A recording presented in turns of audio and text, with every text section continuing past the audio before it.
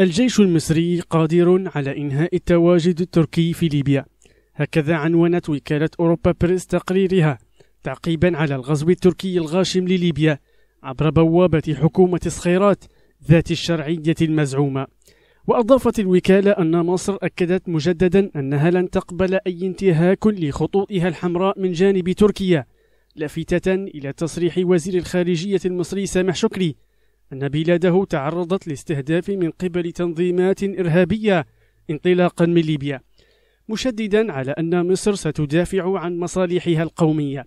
وتابعت الوكالة أن العديد من الخبراء الأوروبيين أكدوا بالفعل أن الجيش المصري يمكنه هزيمة القوات التركية وطردها من ليبيا قبل أن تتمكن أنقرة من إرسال تعزيزات في حالة مواجهة شاملة بين البلدين.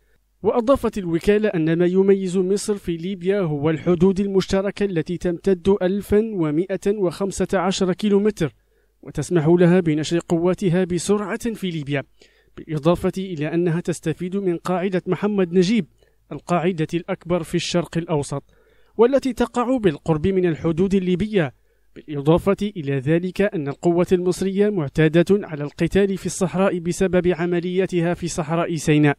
ونقلت الوكالة قول شكري في مؤتمر صحفي أن مصر أجرت خلال الأيام الماضية مشاورات كثيفة مع الدول العربية والشركاء في الساحة الدولية للتأكيد على أن الموقف المصري ساع لتحقيق السلام والاستقرار في ليبيا في إطار وقف إطلاق النار.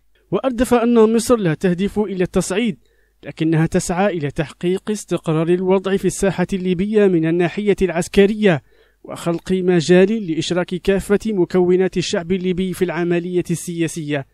وبالتالي فإن مصر بحسب الوزير المصري سوف تدافع عن مصالحها وأنها ستستمر في دعم المسار السياسي. ولكنها لن تقبل بأي شكل من الأشكال وأي نوع من أنواع التعدي أو اختراق الحدود التي تم تحديدها للدفاع عن المصالح القومية والأمن القومي لمصر وليبيا. علي الفايدي ليبيا الحدث